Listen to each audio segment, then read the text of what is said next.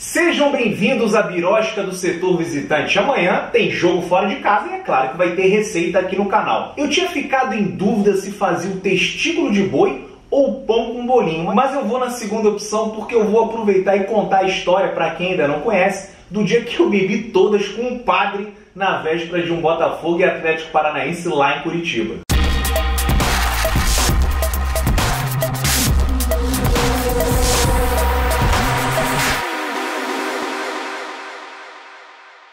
Rapaziada, eu queria começar pedindo aquela força pro canal, queria que vocês deixassem o like, clicassem no botão inscrever-se e ativassem o sininho para receber todas as notificações dos próximos vídeos do canal, beleza? Conto com vocês, hein? No ano passado, o Botafogo jogou contra o Atlético Paranaense lá em Curitiba, em novembro, ali na reta final do Campeonato Brasileiro.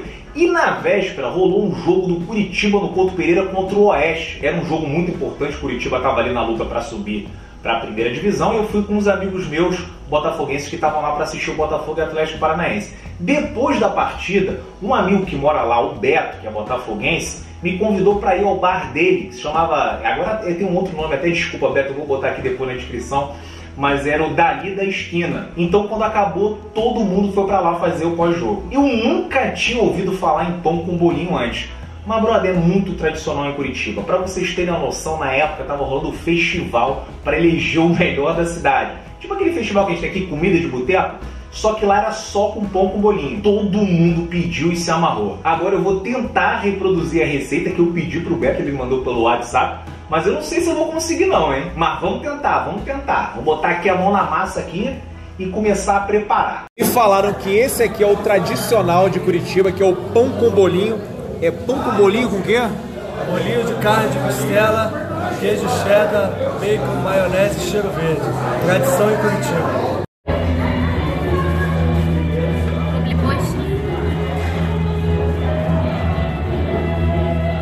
Melhor da cidade. Bom, para fazer essa receita eu realmente vou precisar de ajuda, então já abri aqui o chat do Beto no WhatsApp, aqui ele passou os ingredientes e todo o passo a passo para preparar essa maravilha que é o pão com bolinho. Já vou adiantando aqui o que a gente precisa para fazer. A carne, ele fez com carne de costela. Eu comprei patinho porque não tinha a costela que estava lá no supermercado, não estava com a cara tão boa. Eu fiz com patinho, você pode mudar, pode fazer com a 100. Enfim, é como eu sempre digo, a receita é só uma base, você pode fazer e adaptar do jeito que você quiser.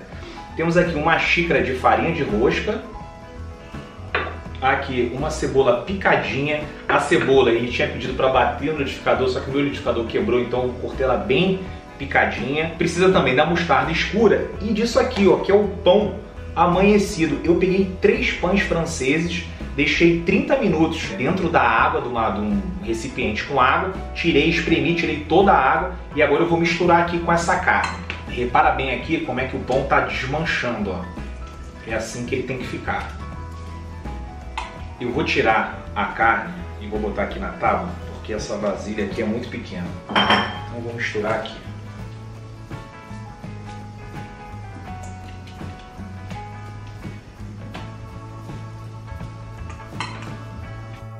Aqui a cebola também agora. E vou jogar uma mostarda escura.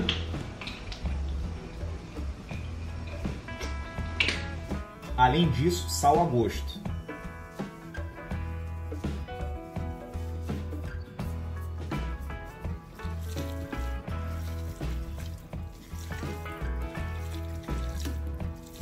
Agora eu também vou acrescentando aqui um pouquinho da farinha de rosca. Para dar liga.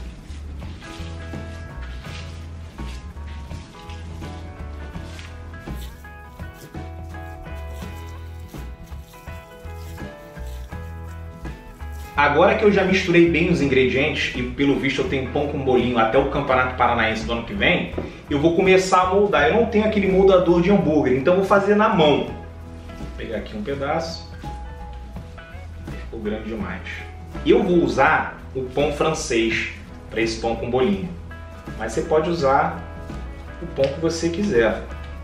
É uma sugestão. Lá, nesse bar do amigo, é com pão francês. Agora vamos empanar. Passar aqui na farinha.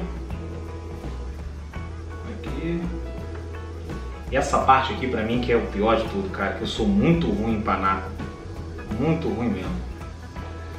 Mas vamos lá, vamos tentar isso daqui direito. Passar no ovo agora.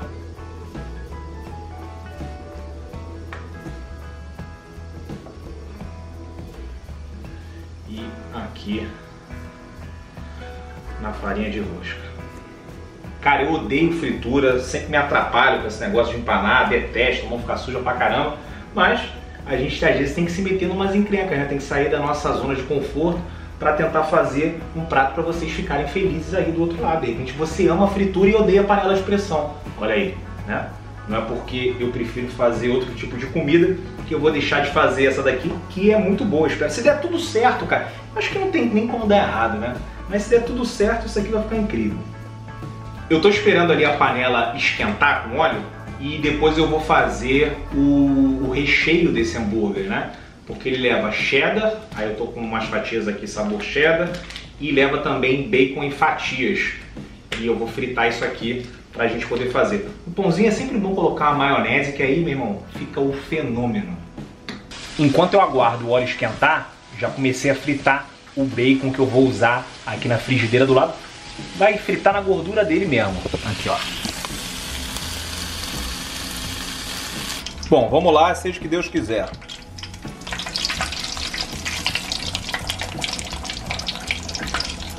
Agora o óleo já está quente. Cuidado para não deixar muito quente não, senão ele vai cozinhar por fora e por dentro vai ficar um horror.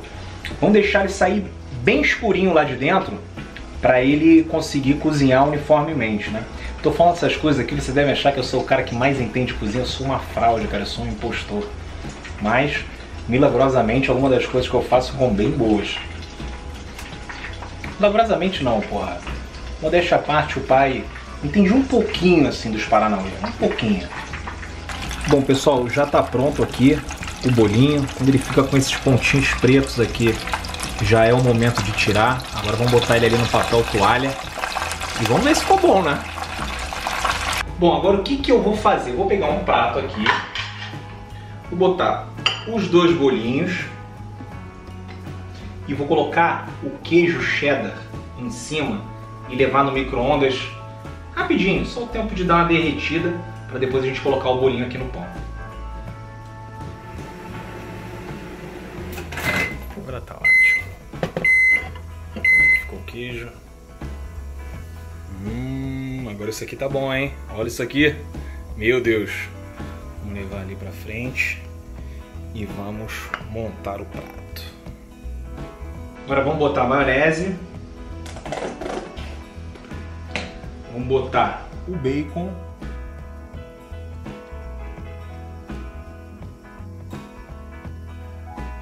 Agora aqui, ó, o pão com bolinho. Nossa senhora, dois bolinhos igual ele fez.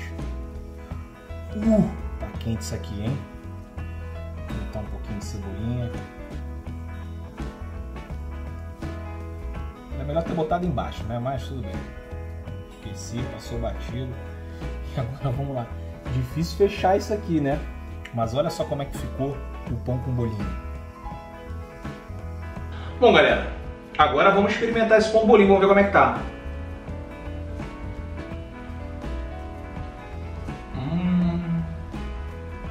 Isso aqui sem brincadeira, ficou muito gostoso. O queijo já deu para perceber que faz toda a diferença. Botei ele no micro-ondas, ficou excelente, dá um gosto diferente aqui pro hambúrguer.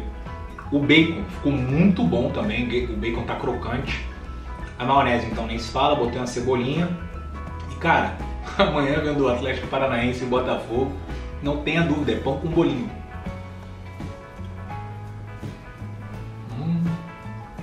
Bom galera, e pra finalizar, eu não posso deixar de contar a história do padre, né? Porque além do bolinho, a gente fez a maior festa lá no bar do Beto, éramos uns 10 botafoguenses, e o Beto estava com um amigo dele que torcia pro Coxa e estava muito empolgado com a vitória, que deixou o acesso para a Série A praticamente encaminhado. Meu verdão, quero ser o campeão, jogue pela nossa história e tradição.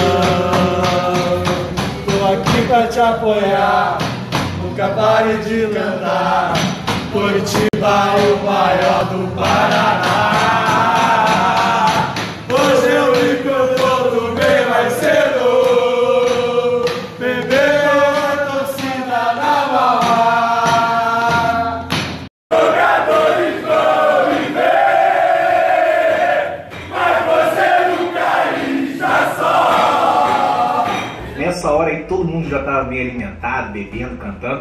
Quando deu umas 10 horas, o Beto falou que ia fechar o bar, mas que tinha um samba na rua do lado. Então, cara, geral se empolgou, né? Tava lá em Curitiba, nada pra fazer, pô, vamos pro samba.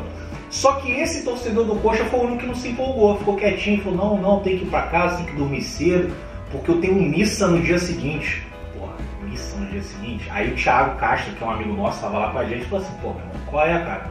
Bora lá no samba, você perde a missa amanhã, você vai na semana que vem. Aí o cara respondeu: o problema é que eu não posso perder a missa. Eu sou o padre.